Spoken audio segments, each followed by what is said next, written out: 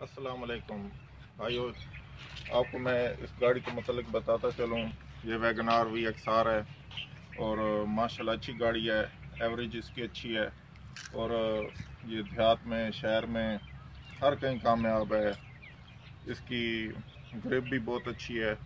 اور اس کا سب سے بینیفٹ یہ ہے کہ آپ اس گاڑی کو کہیں بھی چلا سکتے ہیں۔ اس آپ گاڑی کو کہیں بھی چلا سکتے ہیں۔ یہ کچے کے علاقے میں، پکے کے علاقے میں، پہاڑی علاقے میں ہر کہیں گاڑی کی پک بہت اچھی ہے اور گرپ بھی بہت اچھی ہے۔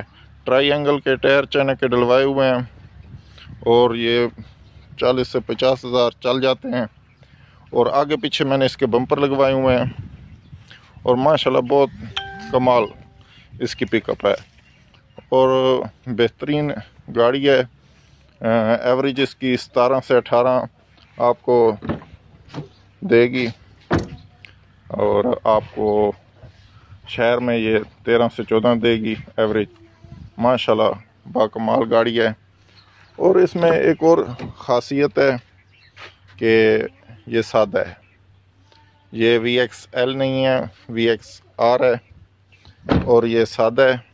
اور اس کا اے سی بہت اچھا ہے۔